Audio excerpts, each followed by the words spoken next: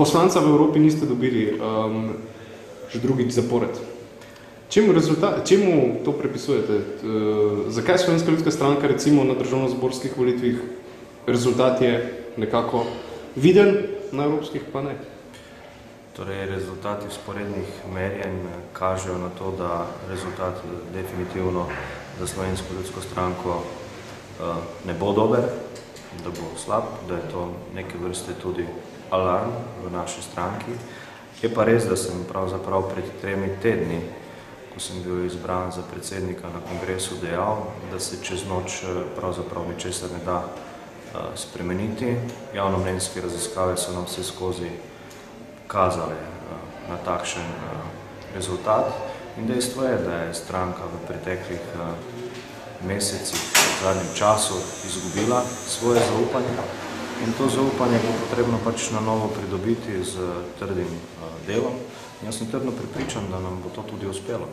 Menite, da je ravno ta nedavna menjava v vodstvu stranke tudi uh, vplivala na to, da mogoče voljivci še ne prepoznajo te stranke oziroma njenega vodstva in glavnih kriterijev?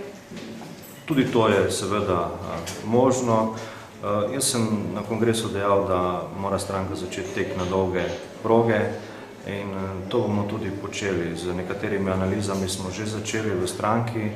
Ta podatek, ki smo ga dobili skozi te volitve, bo še eden od podatkov, ki ga bomo vključili v to analizo in potem seveda na osnovi te analize tudi ustrezno ukrepali.